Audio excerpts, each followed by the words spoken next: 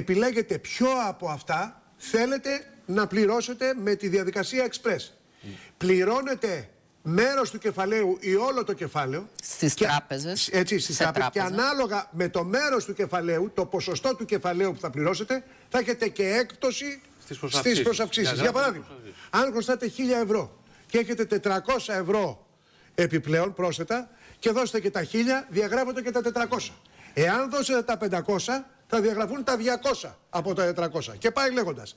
Ποσοστό λοιπόν επί του κεφαλαίου και ποσοστό επί των προσαυξήσεων ανάλογα με το τι θα πληρώσετε. Το είπα σωστά; Σωστά το είπατε και βέβαια Και υπάρχει το κάνουμε γιατί επιβάλλεται να βοηθάμε πάνω σε Υπάρχει αυτό. και η δυνατότητα της ολικής εξόφλησης ενός από τα χρέη ή και της συνολικής Τα ολικής υπόλοιπα που θα μείνουν εξόφλησης. μπορώ να τα πάω σε 100 δόσεις. Βε, βεβαίως, βεβαίως. Έτσι, άρα, λοιπόν, δεν υπάρχει καμιά προϋπόθεση αν δεν γι' έχω αυτό. χρήματα, Είναι επιλέγω- πλήρως ελαστικά. Τα με, το μεγαλύτερο πρόστιμο να, διαλέ- να διαλέξετε. Αυτό που έχει το περισσότερες μεγαλύτερο προσάψεις, πρόστιμο είναι το μυστικό.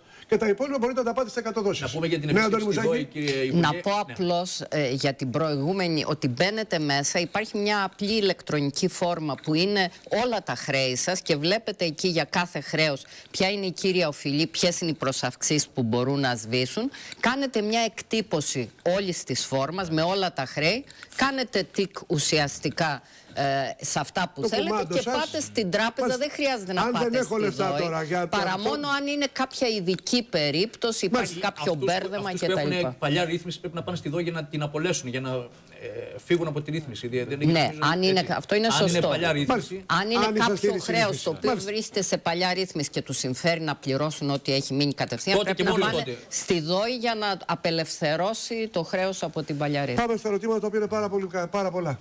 Έμφυα. Τι θα κάνετε με τον έμφυα; Ο έμφυα το πληρώθηκε Τελευταία δόση η Φεβρουάριο. τελευταία δόση Φεβρουάριο. Υπάρχουν δύο σκέψεις. Η μία είναι να αλλάξετε τον νόμο, γιατί να τον καταργήσετε δεν μπορείτε. Θα καταργήσετε αυτόν και θα έρθει ένας άλλος. Θα έρθει ο φόρος μεγάλης ακίνητη περιουσίας. Και να ισχύσει για το δεύτερο εξάμεινο του 2015, που θα αρχίσει να πληρώνονται εκεί δόσεις, ή να πείτε, επειδή δεν προλαβαίνουμε, ισχύει ο έμφυα και για το 2015 και ό,τι ψηφίσουμε πάει το 2016. Παρακαλώ. Ναι, βασικά προλαβαίνουμε. Δηλαδή δεν υπάρχει χρονικός αλλάζει. περιορισμός Αλλάζει ο ε, έμφυα. τέτοιο. Τέτοιος. Αυτό που καθορίζεται είναι ότι ο έμφυα του 2000, που πρέπει να πληρωθεί με- ο, ο έμφυα.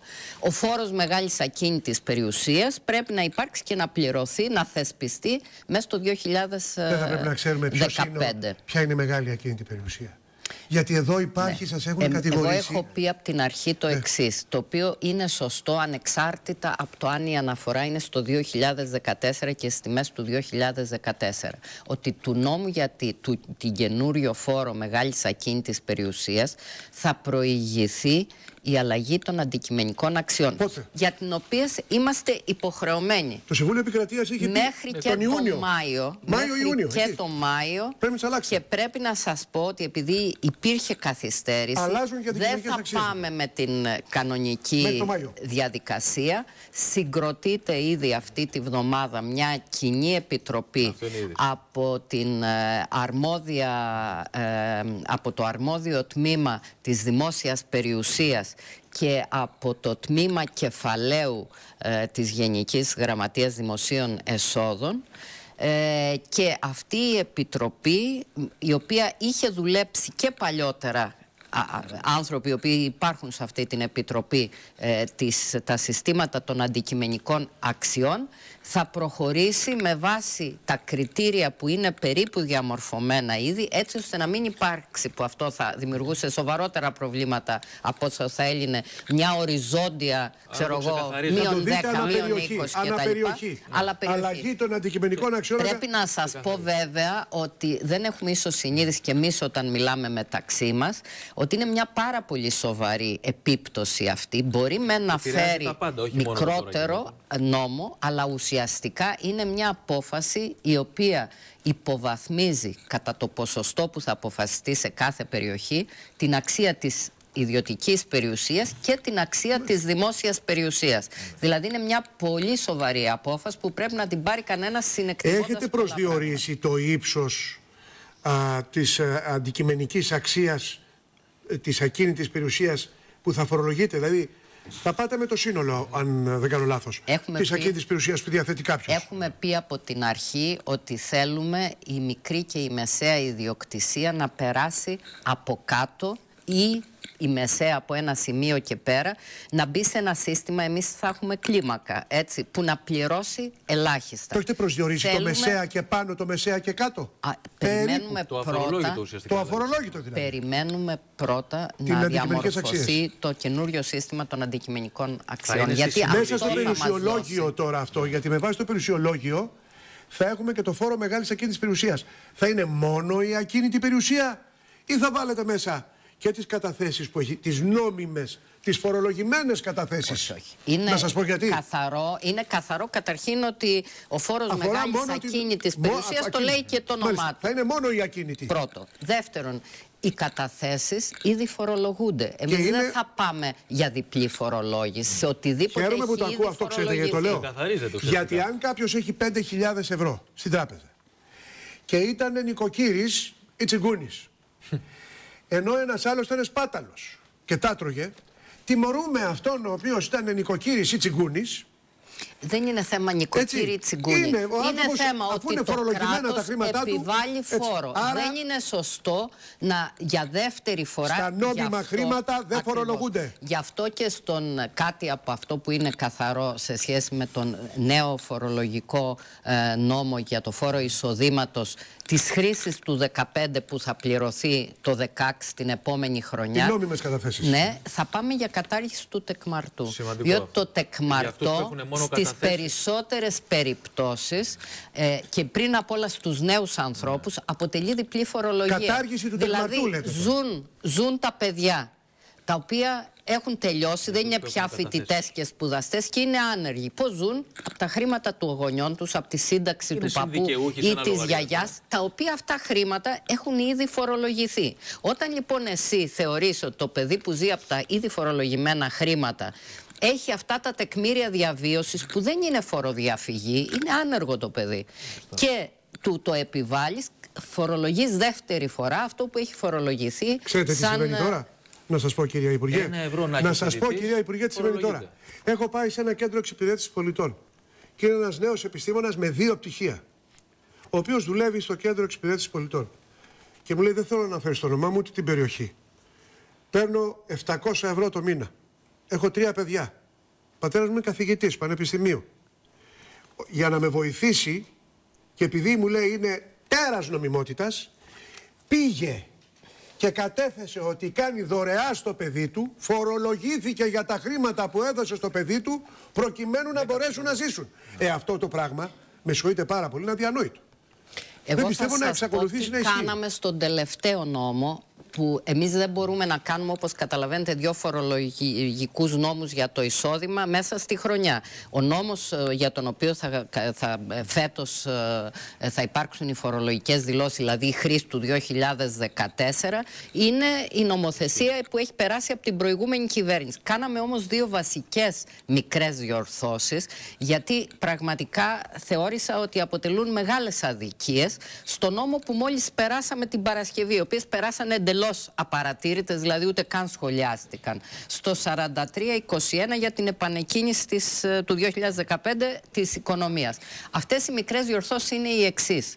Ότι αν κάποιος έχει εισόδημα μόνο από τόκους ή μόνο από ενίκεια, φορολογείται με βάση αυτό το εισόδημα και όχι με το τεκμαρτό. Να σας πω ότι μου έφεραν για ένα παιδί 27 χρονών άνεργο, το οποίο ε, είχε ε, κάποιο ευρώ το- λογαριασμό ένα στην ευρώ τράπεζα τόκος, ναι. ένα ευρώ. Ένα ευρώ. Ξέρετε πόσο είχε. Μου έφεραν το εκαθαριστικό του. Ξέρετε πόσο είχε πληρώσει. Πήγαινε σαν ελεύθερος πέρυσι. επαγγελματίας με τεκμήρια. Χίλια, μα, γιατί Έτσι. υπάρχει και Έστω το ένα συν ευρώ, έτσι, έτσι, έτσι. 55% Προκαταβολή φόρου. προκαταβολή. Αυτό αλλάζει. 1209 Αυτό ευρώ. αλλάζει. Δηλαδή έσοδα 1 ευρώ, 1209 ευρώ. Καλή Αυτό το ρύθμιση. καταργήσαμε. Και το άλλο που καταργήσαμε, που είναι επίσης πολύ βασικό, είναι για τους κατοίκους εξωτερικού. Για τους κατοίκους εξωτερικού προβλέπεται ότι αν είναι όντως κάτοικοι εξωτερικού και δεν έχουν εισόδημα εδώ στην Ελλάδα, δεν φορολογούνται. δεν ισχύουν Αν όμως έχουν καταθέσεις μόνο εδώ στην Ελλάδα, έστω και ένα ευρώ τόκο να έχουν έσοδα, τους μπαίνει το τεκμαρτό. Παρόλο που ξέρουμε ότι ζουν έξω οι άνθρωποι και δεν έχουν εδώ. Πετρέλαιο, πετρέλαιο. Αυτό καταργείται γιατί αυτό είναι αντικίνητρο. Είναι- Γιατί είναι αυτό. Παίρνω τις καταθέσεις μου και τις παίρνω στη Γερμανία, ξέρω εγώ Θα που ζω, έρθουμε στη ξανά στις Σουηδία καταθέσεις κτλ. γιατί υπάρχει Επίσης, πολύ βελτιώθηκε μεγάλο κι άλλο ένα ενδιαφέρον. πράγμα. Πάμε σε ερωτήματα. Βελτιώθηκε Μεγάλα, μεγάλα, πολλά, μεγάλα. βελτιώθηκε κι άλλο ένα Ερωτήματα πράγμα που με την ενδιαφέρουν την εταιρεία. κοινωνία. Και αυτό Αντώνη, ισχύει. ενδιαφέρουν την κοινωνία. Θα τα πούμε, Ναι. θα τα πούμε όλα. Ε, Αυτό ισχύει για την φορολογική δήλωση που θα γίνει τώρα, Μάλιστα. ξαναλέω, του 2014. Του 14. Που Σωστή η παρατήρησή σου, Αντώνη. Ε, φόρο κατανάλωσης στο πετρέλαιο. Τι θα γίνει Ειδική φόρη κατανάλωσης. Με Λένε ότι ειδικό θα φο- με αυξηθούν τον ειδικό φόρο. Στο πετρέλαιο, στα τσιγάρα, στα ποτά. στο πετρέλαιο. Ε, Κοιτάξτε, η δέσμευσή εδώ- σας ήταν να καταργηθεί. Εδώ υπάρχουν ε, Ο διάφορες φόρος κατανάλωσης ε, στο πετρέλαιο. σκέψεις.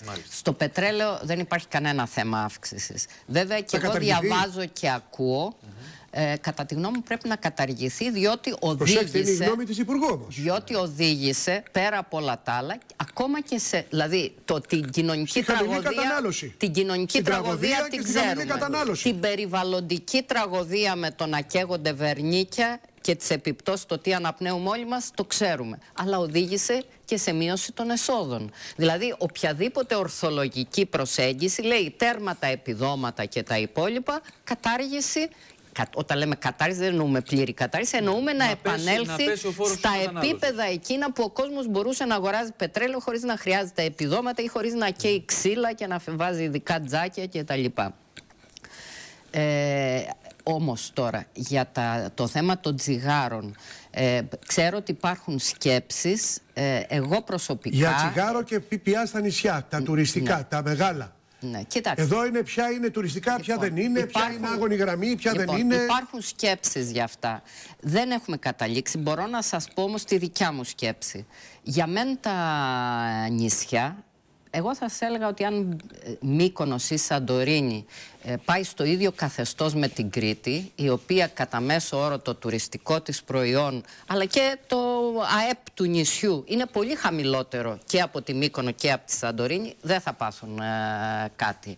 Ε, όμως τα νησιά που είναι πραγματικά τα νησιά της άγωνης γραμμής πρέπει να προστατευτούν Πρέπει να δούμε ποια είναι άγονης, ποια δεν είναι άγονης αποφασιστικά. όμως. Και η έννοια της, ε, ε, του, του, της προστασίας στο Αιγαίο αυτή την ε, έννοια είχε. Δηλαδή ότι πρέπει να μπορέσουν οι νησιώτες να μένουν εκεί που Αυτό είναι. που είχε ακουστεί σαν σκέψη ότι να χαμηλώσουμε λίγο το 23 και να ανεβάσουμε λίγο το χαμηλό και να έχουμε ενιαίο ΦΠΑ που θα είχε σαν αποτέλεσμα. Όχι. Φάρμακα, Όχι. Τρόφιμα. τρόφιμα. Όχι. Εμείς πρέπει ίσα Όχι, ίσα λέτε. αυτό το ΦΠΑ Άρα, να, τον, να ΦΠΑ προστατεύσουμε τον Τσιγάρα. κόσμο ο οποίος χρειάζεται φάρμακα. Άρα τσιγάρα, Ναι, αλκοόλ Εγώ και θα σας κάποια πω νησιά. και για τα τσιγάρα ότι είναι ένα πρόβλημα κατά τη γνώμη μου. Ξέρετε γιατί; Έχει φτάσει αυτή τη στιγμή να είναι γύρω στο 88% Ισχύει αυτό. ε, οι ειδικοί φόροι και μόνο 12% είναι το, το Ξέρετε υπόλοιπο... τι κάνει αυτό, Ναι. ενισχύει το λαθρεμπόριο. λαθρεμπόριο. Αυτό Γιώργο, ήθελα αυτό να γίνεται. σας πω. Ενισχύει Δηλαδή, το λαθρεμπόριο. Το λαθρεμπόριο Δηλαδή, αν των αυξηθεί η τσιγάρων μισή από τους φόρο, καπνιστές, μπορείς θα να, αυξηθεί το μπορείς λαθρεμπόριο. και πρέπει Θα να χάσεις το έσοδα, δεν θα αντιμετωπίσεις πάρετε. διοκτικά, αλλά όχι μόνο Ε, διοκτικά. βέβαια, δεν μπορείς να Κατά τη τιμωρείς. γνώμη μου πρέπει να και το κάτι άλλο, κυρία αντιμετωπίσεις και Βαλαβάνη, με μια ένας πολιτική πρώην τιμόνη. καπνιστής ανόητος το λέει που υποχρεώθηκε να το κόψει μετά από ένα έμφραγμα το τσιγάρο. Κάπνιζα τρία με τέσσερα πακέτα την ημέρα.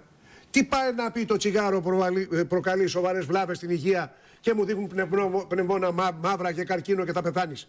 Και από την άλλη πλευρά 3,5 είναι το δις. χαρτάκι με την ταινία για τον φόρο καπνού. 3,5 δισεκατομμύρια Είναι εισπράττει υποκρισία. το κράτος Ή από αυτή τη λοιπόν διαδικασία. απαγορεύστε το, το, το τσιγάρο ή μην λέτε συνέχεια φόρος στο τσιγάρο, φόρος στο τσιγάρο, φόρος στο τσιγάρο. δεν Εγώ είναι το αυτό. λέω Δεν είναι... καθαρά από την άποψη ότι μια πολιτική για την αντιμετώπιση του λαθρεμπόριου δεν μπορεί να έχει μόνο Άρα εσείς διοκτικό δεν σκέλος. εισηγείστε αύξηση των ειδικών φόρων κατανάλωσης. ούτε Εγώ στα τσιγάρα, ούτε στα ποτά. προσωπικά πιστεύω ότι θα ήταν λάθος. Μάλιστα. Μάλιστα.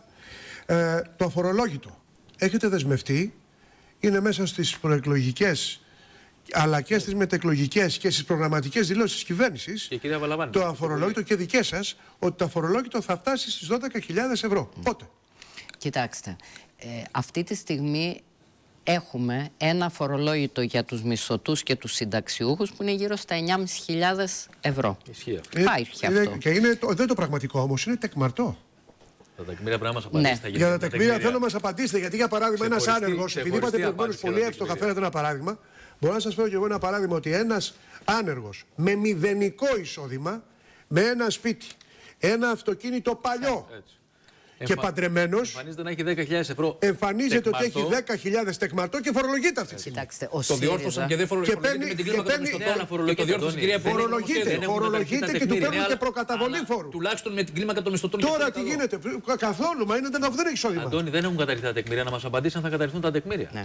Για πείτε μας Κοιτάξτε, λοιπόν, κοιτάξτε. αφορολόγητο και Η τεκμήρια. δικιά μας ε, τοποθέτηση όλα αυτά τα χρόνια σαν ΣΥΡΙΖΑ 12.000 ευρώ. είναι ότι είναι ε, απαγορευτικό πραγματικά ε, για έναν άνθρωπο και δεν είναι σωστό από την άποψη ενός δικαιότερου φορολογικού συστήματος η διπλή φορολογία. Η ιστορία των τεκμηρίων, μια περίοδο που δεν είμαστε όπως 10 χρόνια πίσω, που ανοίγει ουσιαστικά, έχουν ανοίξει τραπεζικοί λογαριασμοί για όλους μας. Δηλαδή, αυτή τη στιγμή το ΣΔΟΕ, με πολύ μεγάλη προσοχή, γιατί αυτά πρέπει να παραμένουν βεβαίως ε, αυστηρά περιφρουρημένα, έχει τη δυνατότητα να δει και σε λίγους μήνες θα έχει ακόμα μεγαλύτερη δυνατότητα για ένα μεγάλο ευρώ, σχεδόν 15 χρόνια, έχει τη δυνατότητα να δει τα έσοδά μας. Δεν είμαστε λοιπόν όπως είμαστε πριν 10 ή 15 χρόνια που ήξερες ότι υπάρχει φοροδιαφυγή των μικρών, για παράδειγμα, ελευθέρων επαγγελματιών και έλεγες τι δηλώνει αυτός; 2.000. Μπορεί να είναι 2.000, μπορεί να είναι και 10.000 Άρα θα τα και να μην έχεις καταργήσετε; κόψει Άρα αποδείξεις. θα τα καταργήσετε; Θα πάμε σε μέτρα έμεσης απόδειξης, τα οποία επιτρέπονται πλέον Αυτό νομοθετικά, δηλαδή έτσι ώστε να 26% φαίνεται από το πρώτο αν ευρώ τα για τους 2.000 ελεύθερους επαγγελματίες ακριβώς. θα σταματήσει. Αν τα 5.000 είναι 5.000 ή Ξέρετε είναι πόσα ψηλή 100.000, κατσίδικα κλείσανε; Καταλάβατε. Ξέρετε πόσα ψηλή κατσίδια κλείσανε, γιατί λέγανε οι άνθρωποι. Όταν ε, μου λέγανε από το πρώτο ευρώ 26% και εγώ είχα 10.000 το χρόνο. Και μου λέγανε 2.600 ο φόρος. Ήτανε- Συν η αυτά προκαταβολή είναι του φόρου τραγικές για την καταστάσεις. επόμενη χρονιά Περισσότερα από- έκλεινε. Έτσι Αυτά δεν είναι είναι. τραγικές καταστάσεις. Πληρώνει τώρα, Σήμερα αυτή τη στιγμή πληρώνει. μπορούμε, σήμερα μπορούμε να δούμε την πραγματική και σας λέω σε λίγους μήνες θα μπορούμε να τη δούμε ακόμα καλύτερα. Πόσους λίγους μήνες; Την πραγματική Εδώ σε κρίνεστε. κάνα τρίμηνο. Να το σας το πολύ. πω, συγγνώμη που σας κόβω, αλλά Λέω γιατί είμαστε σε Επειδή συνεννόηση εσείς- με την Ένωση επειδή των εσείς- Τραπεζών για να βελτιωθεί η υπάρχουσα ε, βάση ε, περιουσιολόγιο που ηλεκτρονικών λέμε. δεδομένων. Καλά κάνετε και Ένα δεν μιλάτε είδος πολύ- πολύ, το κυρία Υπουργέ. καταθεσιολόγιο. Καλά κάνετε και δεν μιλάτε πολύ. Μας αλλάξατε τα φώτα μέχρι να έρθετε και καλά κάνετε. Πρώτης παρουσίας. Λέτε, παιδιά, ότι όταν έχω κάτι να πω θα έρθω. Και έχει. Αλλά ε, κρινόσαστε όχι μόνο από την αποτελεσματικότητα της δουλειάς σας, αλλά και από την ταχύτητα. Γιατί δεν σας παίρνει ο καιρός. Και έσοδα πρέπει να μαζέψει το Δεν μας κράτος, παίρνει, αλλά αλλά και να οι σας αδικίες πω πρέπει να κάτι. αποκατασταθούν. Αλλά να σας πω κάτι, από την άλλη μεριά αυτή η τεράστια πίεση που υπάρχει σε σχέση με το θέμα του χρόνου δεν βοηθάει. Δηλαδή ένα μέτρο που θέλει ένα χρόνο, μερικών μηνών, δεν λέω εγώ μερικών χρόνων, για να μπορέσει να είναι αποτελεσματικό αν υπό την πίεση, και υπάρχει πίεση αυτή τη στιγμή τεράστια, Θέλω- θέλω να πω γίνει κάτι στο εδώ πώς θα το μισό πω, θα είμαι χρόνο, διακριτικός. μπορεί να έχει το μισό αποτέλεσμα. Θέλω να και πω λες κάτι. τότε αξίζει τον κόπο πραγματικά. Θέλω να πω κάτι και θα είμαι διακριτικός. Και τις διαδικασίες. Ε. Οι διαδικασίες είναι πάρα πολύ σοβαρές. Δηλαδή, υπό την πίεση των χρόνων, διαδικασίες που δεν είναι θέμα δημοκρατίας, είναι θέμα εμπειρίας. Θα χρησιμοποιήσεις τον υπηρεσιακό μηχανισμό. Για να χρησιμοποιήσεις τον υπηρεσιακό μηχανισμό, θες κάποιο χρόνο. Διότι ο υπηρεσιακός μηχανισμός έχει τους δικούς του χρόνους που δεν μπορείς να τους βιάσεις υπάρχουν πολύ. κιόλας τώρα Ή θα υπηρεσίες. τον αγνοήσεις. Λίγα Κατά είναι τη περισσότερο. γνώμη μου, οι υπηρεσιακοί παράγοντες είναι αυτοί που συγκεντρώνουν αυτή τη στιγμή τη μεγαλύτερη Που έχει αλλήμονό μα. εμπειρία παντού. Που έχει αλλήμονό μα, αν δεν συνεργαστείτε. Θα προσπαθήσω να είμαι διακριτικός. Κάποια στιγμή μου δημιουργήσατε την αίσθηση ότι σαν να είπατε. Ακούστε, μην μιλάτε πολύ για τις αρμοδιότητες τι δικές μου. Για τις αρμοδιότητες τι δικές μου θα μιλάω μόνο εγώ. Γιατί; Δημιουργήθηκε ένα μπέρδεμα για το ΦΠΑ. Δημιουργήθηκε ένα βε- μπέρδεμα για τον φόρο μεγάλης ακίνητη Για τους περιουσία. ειδικούς φόρους κατανάλωσης. Για τους ειδικούς φόρους κατανάλωσης. Μιλάγανε πολύ. Εγώ δεν θα σας πω ποιοι. Μιλάγανε πολύ. Να σας ξαναπώ το και ίδιο. μου δημιουργήθηκε η Υπάρχει αίσθηση πολύ όταν βγήκατε μεγάλη και είπατε. Πίεση. Ναι, όταν Υπάρχει βγήκατε και πολύ είπατε. μεγάλη πίεση, Ακούστε θα να σας δείτε, ξαναπώ είναι το αντικείμενο ίδιο. δικό μου. Αυτό είναι, αυτά είναι αποτελέσματα του ότι υπάρχει πολύ μεγάλη πίεση και υπάρχει πολύ μεγάλη πίεση, μακάρι να υπήρχε μόνο ή κυρίως από την ελληνική κοινωνία, γιατί αυτό θα ήταν απολύτως δικαιολογημένο, γιατί η ελληνική κοινωνία βιώνει μια Ναι, οι κατάσταση θεσμοί το θέλουν αυτό. τραγική. Είναι το τελευταίο τελευταίο. Το απ' έξω είναι το Ναι, πρόβλημα. το απ' έξω θα σας αφήσει να τα κάνετε αυτά. Δηλαδή, εσείς λέτε πολύ σωστά ότι Δηλαδή, αποκαταστήσετε. όταν υπάρχει συνεχώς μια πίεση απ' έξω, δεν σε αφήνει να ολοκληρώσεις το βήμα που πρέπει να κάνεις για να Ναι, οι είσαι απ' έξω σας λένε αποτελέσματα. μαζέψτε λεφτά. Στο θέμα της κοινωνικής δικαιοσύνης, ποσός τους ενδιαφέρει. Ή τους ενδιέφερε ή τους ενδιαφέρει. Χρησιμοποιούν μια λέξη, τα Είμαι ισοδύναμα. απόλυτος Πες και με τα συγχωρείτε που είμαι, ισοδύναμα, απόλυτο, απο- που είμαι απόλυτος. Γιατί ακόμα και σε περιπτώσεις κοινωνικής αδικίας λένε σε εσάς φέρει ισοδύναμα. Θα σας αφήσουν να τα κάνετε όλα αυτά. Και αν δεν σας αφήσουν να τα κάνετε όλα αυτά, τι θα κάνετε; Κοιτάξτε, Αν σας πούνε αύριο μεθαύριο πρέπει να κάνεις να φέρεις φοροεισπρακτικούς νόμους για να έχεις. Ε, Τον ισοσκελισμένο προϋπολογισμό που λέει Έτσι η ακριβώς, Μέρκελ. για να σου δώσω τις δόσεις. Κοιτάξτε, ξέρετε ότι με βάση τη συμφωνία της ε, 20ης ε, Φεβρουαρίου ε, εμείς ενημερώνουμε για ό,τι κάνουμε. Το ενημερώνουμε δεν σημαίνει ότι από εκεί και πέρα κάνουμε ότι ε, υπάρχει άποψη απ' έξω ότι πρέπει να γίνει. Εμείς ξεκινούμε από το γεγονός που δεν νομίζω ότι θα το αμφισβητήσει κανείς, ότι ξέρουμε καλύτερα από οποιονδήποτε άλλο τις πραγματικές ανάγκες και συμφέροντα της ελληνικής κοινωνίας. Για παράδειγμα, η ιστορία της ρύθμισης των 100 δόσεων. Ουσιαστικά δεν ήθελαν ρύθμιση. Όχι απλώς ρύθμιση 100 Το δώσεων. είπαν Δεν και ήθελαν δημοσίως. Το Κοστέλο ρύθμιση. είπε ότι είναι μονομερής ενέργεια, πάρτε το πίσω. Ήθελαν ε, αυτό που λένε δημιουργία φορολογικής συνείδησης. Εγώ θεωρώ ότι είναι απολύτως θεμητό και απολύτως σωστό το αίτημα ότι πρέπει να υπάρξει στην Δεν Ελλάδα προηγείται αυτό της φοροδοτικής ικανότητας. συνείδηση. Αλλά ακριβώς για αυτό το λόγο θα σας πω αυτό το Που λέει και πίνακα. το Σύνταγμά μας για τον κύριο Κοστέλο. Αυτό το Που δεν το πίνακα, ξέρει. τον οποίο τον πήρα από τους υπηρεσιακούς παράγοντες και τον είδα και εγώ για πρώτη φορά την προηγούμενη εβδομάδα και τον κατάθεσα στη Βουλή την Παρασκευή. Είναι η σχέση του ιδιωτικού χρέους προς το δημόσιο, μόνο προς το δημόσιο, όχι προς τις τράπεζες, όχι προς τα ασφαλιστικά ταμεία, σαν ποσοστό του ΑΕΠ. Το 2000 λοιπόν αυτό ήταν 4,8%. Να συμφωνήσω ότι το 2000 ένα πράγμα είχα, πρέπει να κάνουμε, να δημιουργήσουμε φοροδοτική συνείδηση, τίποτα άλλο. Το 2009, δηλαδή όταν άρχισε η κρίση, αυτό ήταν ε, 13,6% του ΑΕΠ. Ξέρετε πόσο έγινε στα πέντε χρόνια του μνημόνιου; 39,7%. Το 40% του ΑΕΠ το χρωστούν οι πολίτες στο δημόσιο. Ξαναλέω, όχι στα ασφαλιστικά ταμεία, όχι στις τράπεζες. Συν στα ασφαλιστικά ταμεία στο 40%, συν στις τράπεζες. Όταν λοιπόν έχουμε αυτή την κατάσταση και ξέρουμε ότι έχουμε 3,5 εκατομμύρια πολίτες που είναι παγιδευμένοι σε χρέη μέχρι 3.000 που δεν μπορούν να αποπληρώσουν. Που θα λες, είναι δυνατόν να τους κάνουν κατασχέσεις, να τους κυνηγάνε, να τους βάζουν Ναι, τι θα κάνετε με τις φυλακή για κατασχέσεις 3.000 όμως. Με τις ευρώ. κατασχέσεις αλήθεια τώρα μια και το έφερε κουβέντα. Ναι, να για την- ολοκληρώσω για μόνο την αυτό εφορία. μια κουβέντα. Ναι, ναι. Δεν ισχύει Δεν το είναι το ακατάσχετο. πρώτο η φορολογική συνείδηση. Χρειάζεται να έχει σταθερά μέτωπο φορολογική συνείδηση, αλλά πρέπει να δώσει τη δυνατότητα στον κόσμο να μπορεί να ξεφύγει από αυτό που είναι Μέχρι τώρα όμως δεν εχμαλωσία μπορεί. και φυλακή έχουμε την χρέους. κατάσχεση. Το της ακατάσχετο ακίνητης δεν περιοχής. ισχύει στην Το εφορία. ακατάσχετο για ε, χρέη στην εφορία Όχι, δεν δεν ισχύει. ισχύει. Μέχρι 1500 ευρώ. Έστω Μπορεί να και μιλάς αν τώρα, είναι για τα απειλή, κίνητρα. έστω και αν είναι απειλή και δεν πραγματοποιείται, γιατί ξέρετε τι μας λέγανε οι, προηγου... οι προκατοχοί σας. Φέρτε με ένα σπίτι που το που Ότι κατασχέ- δεν γίνονται κατασχέσεις. Ότι δεν γίνονται κατασχέσεις. Όταν ο άλλος ζει Με το φόβο, με το Γιώργο, φόβο θα ότι θα πάρω το γίνουν. σπίτι, επειδή χρωστάει. Και πριν απαντήσετε, θέλω να σας δώσουμε και μία μ, α, α, κάρτα την οποία έχουμε ετοιμάσει εμείς και την οποία είδαμε με χαρά. Την έχουμε παίξει δύο-τρεις μήνε τώρα, αλλά την- με χαρά ακούσαμε ότι την χρησιμοποίησε και ο κύριος Πρωθυπουργός χθες, μιλώντας με την ε, ε, Άγγελ κυρία Μέρκελ. Μέρκελ.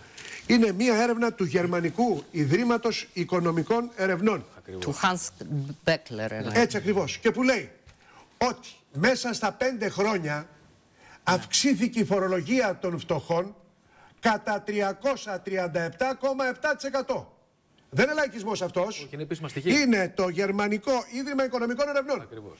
Μπροστά η κάρτα παρακαλώ. Των πλουσίων η φορολογία αυξήθηκε κατά 9%. Η ανεργία από το 7,3 πήγε στο 26,6. Τα αίτια της, φορο... της φτωχοποίησης του ελληνικού πληθυσμού, τα φορολογικά μέτρα. Ε, Ξεκάθαρα.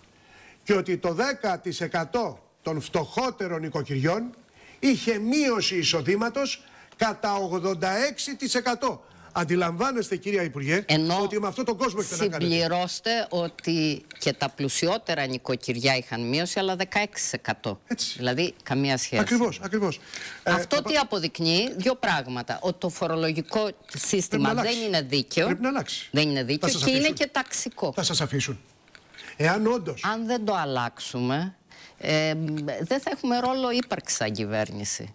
Όταν έχει φτάσει η φορολογία. Αν δεν το αλλάξουμε το στο φορολογικό, δεν θα έχουμε ο- λόγος ύπαρξης. Στο 300 συν 336% για τους μισθωτούς και τους συνταξιούχους, τι να πεις από εκεί και πέρα. Και α, να το αντιπαραβάλουμε βέβαια και με την πάνω μεριά της κλίμακας, έτσι. Μένω σε αυτό το τίτλο που ε, δώσατε Και κλείνοντα. αυτό είναι ουσιαστικά ε, φορολογική συνείδηση. Τότε θα μπορείς πραγματικά να αποκτήσεις Δεν φορολογική, φταίμε να εμείς αν θα- απαιτήσεις φορολογική Δεν συνείδηση. φταίμε εμείς αν θα σας κρατήσουμε λίγα λεπτά παραπάνω, Έχουμε κι αλλά άλλα να μας πει γιατί και θα κάνουμε και με μας άλλα κάνετε θέματα, την τιμή και τη χαρά και Πολλά. απαντάτε. Τώρα κρίνονται οι απαντήσεις σας, αλλά σημασία έχει ότι απαντάτε. Και εγώ το θεωρώ πολύ σημαντικό όταν ε, ένας πολιτικός, μία πολιτικός, απαντάει σε ερωτήσεις και οι απαντήσεις κρίνονται. Αμέσως μετά τις διαφημίσεις θα μπούμε σε αυτά τα οποία Βέβαια. ρωτάτε, κυρίες και κύριοι, φίλες και φίλοι. Τι θα γίνει με τις αποδείξεις, για παράδειγμα, Μεγάλο που θέμα έχετε γι' αυτό, Γιώργο, ε, μπερδευτεί. Τι θα γίνει τι με θα όλες γίνει αυτές με τις τα λίστες. χρήματα εκείνων οι οποίοι τα έβγαλαν στο εξωτερικό και είναι μαύρο χρήμα προερχόμενο από παράνομες δραστηριότητες οι νόμιμες. Αφορολόγητες. Γιατί μπορεί να είναι από εμπόριο ελευθερή χαραγωγό, μπορεί να είναι από λαθρεμπόριο, μπορεί να είναι από εμπόριο Από ναρκωτικών. μίζες. Μπορεί να είναι όμως και από διαδικασίες νόμιμες. Δηλαδή να πουλάγανε καρπούζια και να μην κόβανε αποδείξεις. Αυτά τα χρήματα, αν τα έχουν πάει στο εξωτερικό, με 15% τελειώσαμε. Τότε αισθανόμαστε βλάκες όλοι εμείς που τόσο καιρό κάναμε φορολογική δήλωση. Σε λίγο διαφημίσεις.